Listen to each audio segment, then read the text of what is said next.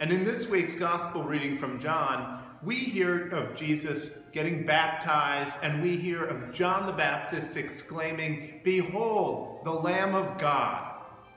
And as Jesus comes out of the water of the River Jordan, and as he begins his ministry, other people begin to see Jesus and take notice. In fact, we see some of the early disciples start to follow Jesus from afar, and they're looking with curiosity, what's going on with this man? And Jesus turns around and he says, What are you looking for? And they, they want to know, Jesus, where are you staying? And Jesus says, Come and see. In some ways, this reading is about an invitation, an invitation that we have all been given to come with Jesus and see what he is up to.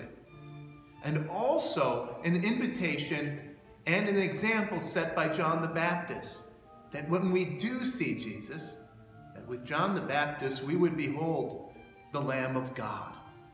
You see, we are being invited, invited to follow Jesus, to come and see, and invited to follow the example of John the Baptist and behold with wonder that yes, indeed, the Lamb of God has come before us. Música